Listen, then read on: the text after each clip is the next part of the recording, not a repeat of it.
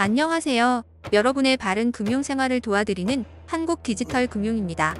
오늘은 신용카드 연금화 방법과 또 어디서 어떻게 이용해야 하는지 알려드리려고 합니다.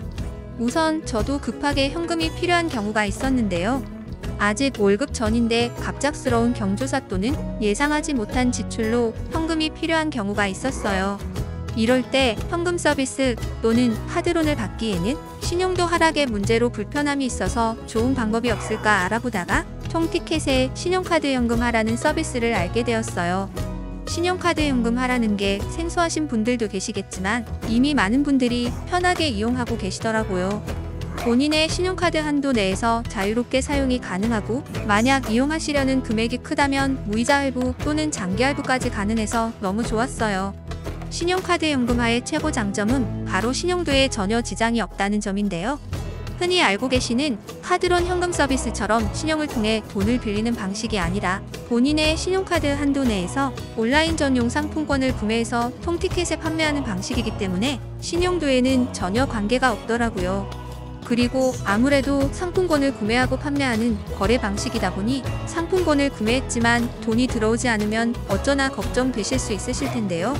통티켓은 한국상품권협회에 정식으로 등록되어 운영되고 있어서 믿고 안전한 진행이 가능했어요. 또한 365일 24시간 언제나 진행이 가능하기 때문에 언제 어디서든 문의하셔서 도움 받아보시길 추천드려요.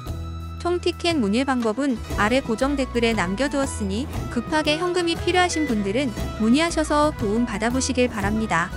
통티켓을 사칭하는 무허가 업체들이 많다고 합니다. 꼭 정식 통 티켓에 문의하셔서 피해보시는 일 없길 바라겠습니다. 오늘은 신용카드 연금화 방법에 대해 소개해드렸는데요. 그럼 다음 영상에서 만나요. 한국 디지털 금융 안녕하세요. 여러분의 바른 금융생활을 도와드리는 한국 디지털 금융입니다. 오늘은 신용카드 연금화 방법과 또 어디서 어떻게 이용해야 하는지 알려드리려고 합니다. 우선 저도 급하게 현금이 필요한 경우가 있었는데요. 아직 월급 전인데 갑작스러운 경조사 또는 예상하지 못한 지출로 현금이 필요한 경우가 있었어요.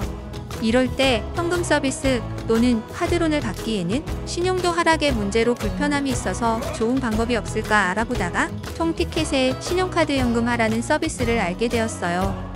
신용카드 연금 하라는 게 생소하신 분들도 계시겠지만 이미 많은 분들이 편하게 이용하고 계시더라고요. 본인의 신용카드 한도 내에서 자유롭게 사용이 가능하고 만약 이용하시려는 금액이 크다면 무이자 할부 또는 장기 할부까지 가능해서 너무 좋았어요. 신용카드 연금화의 최고 장점은 바로 신용도에 전혀 지장이 없다는 점인데요.